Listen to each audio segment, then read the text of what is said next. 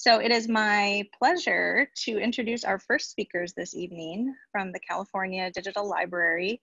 Um, CDL are very close partners of us in research IT, as well as many, many other um, folks on campus. Um, so I'd like to turn it over to Marisa Strong, who is an application development manager, and to Terry Brady, who is a senior software developer. So welcome. Thanks, Amy. I am going to share my screen. So hopefully I've got this going on. Um, so thanks for that introduction, uh, Amy. Um, we're going to be sharing today um, our experience with leveraging pre-signed URLs in the Merritt preservation system, which is developed and hosted here at the California Digital Library, also known as CDL. Um, so if you don't know about CDL, we are a system-wide resource and we sit within the Office of the President and we partner with all of the 10 campuses uh, to amplify the work that is being done at the research programs and all of the campus libraries.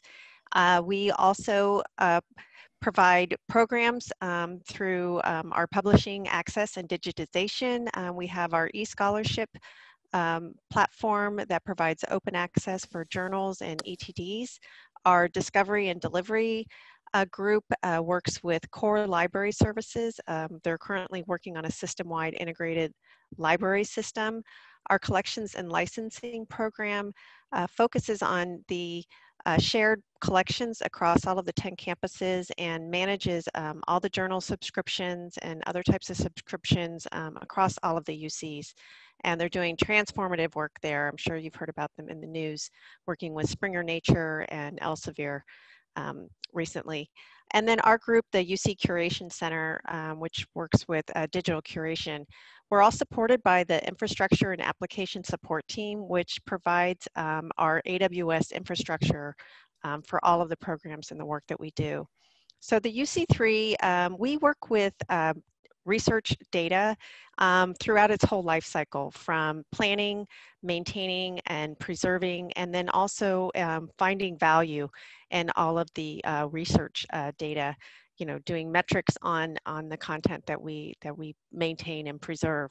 Um, our areas of focus um, deal with research data management and we have a tool called DMPTool that provides guidance around managing your data uh, data publishing also, um, we have Dryad to support our data publishing efforts. Uh, the Carpentries program, which I'm sure some of you have heard of, uh, which provides data and software skills for research IT and librarians um, across the campuses and beyond. Persistent identifiers uh, provides identifiers so us so that we can connect all of our research outputs together. Um, identifiers for journals, um, for research organizations and the like. Uh, we use EZID to support that and also our ROR research organization repository. And then digital preservation, which is Merritt is focused upon. Um, so Merritt is a, a, system. It's made up of nine microservices that live on 24 production servers. Servers, so it's quite large and complex. Um, we house 150 terabytes of unique content. Um, those are with, um, housed within like 2.3 million objects, which they themselves have about 50 million files uh, within those objects. Some of the objects are really large, um, over 250 gigabytes, um, and they're getting larger um, every day that, that we're working with this content. And we are a backbone for a lot of other services um, within CDL and, and for the campuses with working digital asset management systems and the like.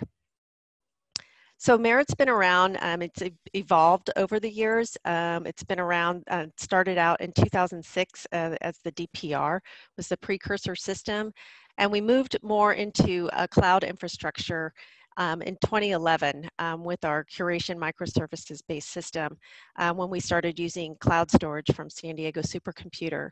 And now um, in 2015, we actually transitioned from physical servers into AWS cloud um, environment. And so now currently we're looking at leveraging different uh, cloud platform development patterns that we can use to make our Merritt repository service more scalable and maintainable going forward. And so uh, Terry's going to be talking about one of the challenges that we've run into in this environment? So Merritt is a digital preservation system focused on decades-long storage of content. And we currently utilize three storage providers. We use Amazon, we use Minio, and we use Wasabi. And we store digital files. We also have the notion of an object in Merritt, and an object contains one or more digital files and some metadata describing that object. So the challenge that we've been running into recently is we've got ever increasing volumes of content ever increasing size of the objects that we're managing and ever increasing amounts of user traffic. So in, as we have these, particularly these really large files that we're dealing with, working with those ties up existing resources that we have and it makes it more difficult to perform system maintenance when we've got long running retrievals of content. So I want to tell a little story of how we simplified our system using pre-signed URLs, uh, a cloud technology that uh, we found very handy. So I'll first give you a, a little overview of what a pre-signed URL is. So here we have a file, a digital file living in cloud storage that's not publicly available. Uh, our initial approach was to use a web server to grant access to that file. So user would come and request the file from the web server. We would, the web server would retrieve the file and then deliver the content to the user. And, but a challenge is what if that file that we're transferring is like 50 gigabytes in size, which um, every once in a while we come across in our system. It's a, there's a lot of traffic being sent through that web server. So the new approach we took was to use pre-signed URLs. And fortunately, this technology is supported by the three cloud providers that we uh, utilize. So user, in this instance, the user requests a file from a web server. The web server asks for a pre-signed URL from the storage service. We then deliver that pre-signed URL back to the user, and the user retrieves the file directly from cloud storage. A couple things about pre-signed URLs, they're good for a limited amount of time. So once you generate one, you can also set uh, a threshold of time for how long it's good and usable. Also, a pre-signed URL tends to be very complex and long in its in the URL string, so it's unlikely to be spoofed or guessed by a malicious user. So we added pre-signed uh, requests for digital files in both our Merritt system and our Dryad system. So a user requests a digital file, we, we send that into the system, and the user is then redirected to a pre-signed URL to deliver the content. So that was our easy use case. Our more complex use case was dealing with what I described to you are, are what we call our Merritt objects. So a Merritt object may contain one digital file or it contain thousands or tens of thousands of files. Merritt objects uh, need to be assembled into a zip file and returned as a single container to the user. And some requests are very large, as some as large as 200 gigabytes in size. So the, before we implemented pre-signed URLs, we had two different software paths to handle these requests. And they, they varied by the size of the object being processed. So our, our basic implementation was a user would ask for an object from the system. We would then assemble that object on our servers into a zip file. We would then deliver that zip file back to the end user, again, pushing all that traffic through our applications. And so here is a view of the Merritt user interface where someone has clicked the download object and a zip file has been retrieved. In the case of really large files, we had a different workflow. So the user would ask for the object. We would then instead assemble the object on cloud storage into a zip file. Next, we would email the user to tell them that their zip file was ready and prepared. And this was particularly problematic. Some, many of our Dryad users had difficulty receiving email, particularly the uh, researchers in China had trouble getting email notifications that their data sets were ready. And uh, so this created a poor user experience. Um, here's an example of what we used to do for large objects. We would prompt the user to enter their email address, and then we would deliver them an email telling them their content was ready. And once they received that email, they could stream the file. But with pre-signed URLs, we came up with a single solution for objects of any size. So we request the object. uh, what, the next thing we would do is we would return what we called a token back to the end user. And uh, what this token did was it said, I'll, I'll respond to your request when I'm ready to respond. So this gave us the ability to schedule and sequence um, how we wanted to respond to user requests. So what we would then do is present a dialog box to the user telling them your content will be ready and we'd give them sort of a time estimate of how long it would take to prepare that content. When the content was ready, we would, we would assemble it on cloud storage. We would assemble it in a container of cloud storage that would expire after a period of one to two days. We then would return the pre-signed URL back to the end user for that container. And uh, the user interface would then, once the content was ready, present a download link to the end user. And from there, the end user could stream the content directly from cloud storage. So, and we found in terms of costs, the, the, um, the cost of implementing this really didn't, it didn't fundamentally change the way we were storing the master copy of our files, but we did have some increase in size for that temporary creation of cloud objects that we wanted to serve up to users. Um, but at the same time, we, we saw a significant decrease in traffic through our application servers. Also, we found since implementing this change, we found our release, our software release process has been greatly simplified. So, you know, we reduced data throughput on our Merritt and Dryad services at CDL. We've had more flexibility in how we deploy our backend services. We've had an improved user experience for our Dryad users. And now the next challenge we want to tackle is how to make use of this pre-signed URL technology on the input side, because those large files I described to you, not only do we have to deliver those, but we need to have a good and reliable way to get files of that size into the system. And we want to apply a similar technology to solve that problem. If you're curious, um, there's more information about uh, both the Merritt system, a link to our code base, and a link to particularly the um, endpoints in our APIs that we designed to implement this solution. And I'll have I'll be sharing out a link to this presentation on the meetup site. Thank you so much to Marisa and Terry for that great presentation. And I would like to open it up for any questions or comments or feedback about this awesome work. You're welcome to unmute yourself and ask, um, or if you feel more comfortable in the chat, I would be happy to read it.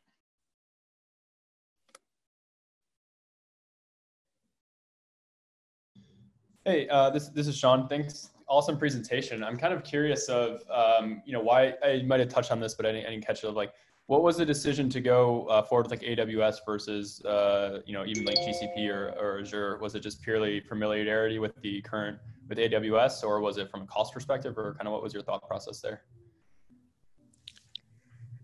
So more along the lines, yeah, with um, going to AWS, it was a CDL-wide decision, and also AWS was being um, leveraged at the UCOP IT level. And so there were already some negotiations in place and agreements uh, going there. And so having some consistency with uh, working with UCOP IT and with what we were doing. And um, in, in terms of the decisions around Google uh, cloud computing. At the at the time um, it wasn't as robust. Aws was kind of leading the marketplace at that time around 2014 i mean there was about six years of, of planning and and actually implementing all of migrating all of our servers and infrastructure over to aws so i just think that a google platform cloud platform at that time just wasn't as robust as, as it is now. Yeah yeah no that, that makes sense. Awesome thank you. Mm -hmm. One thing that's been particularly interesting with this pre-signed URL functionality, the other two cloud storage providers that we make use of, they implement the same API as Amazon S3. So it's it's been great to be able to use essentially the same code to get that functionality from three different uh, cloud storage providers. I've got a question here. Um, out of curiosity, what is the average daily volume of data being downloaded out of the system? you know, that's, that is uh, something that we wish we had more ready access to. Um, we have more on a, an occasional basis run reports looking at a snapshot of a day or a week, uh, but we don't, we don't have a, a ready dashboard, so I can't quote that for you.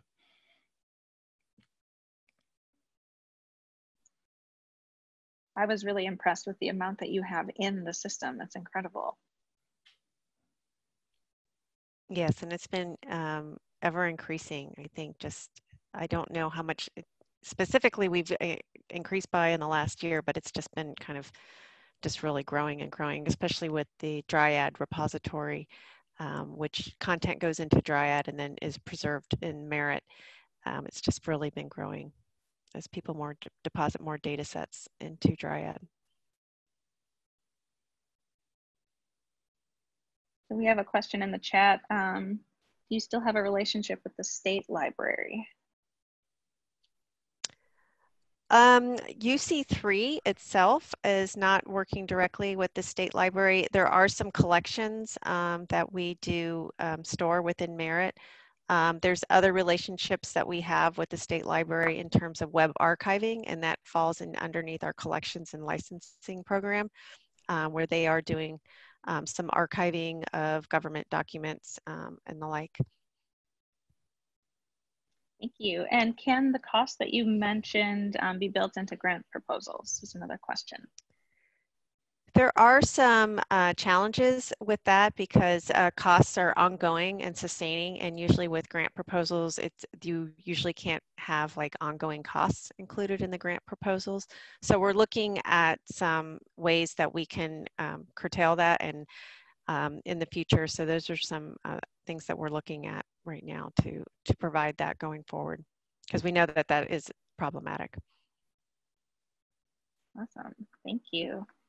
Um, I guess I'm wondering um, if you were to do this over again, would you do anything differently? I would say for me, I, I would have also th been thinking about the um, input side, taking advantage of the pre-signed URLs um, on that side of our workflow and kind of doing it doing it as an even larger project rather than coming back and, and following it along later just because it it once we implemented this it felt like it made so much sense uh, would like to have it available on the other end. Great. Awesome. Well thank you very very much for your presentation and thanks folks for your questions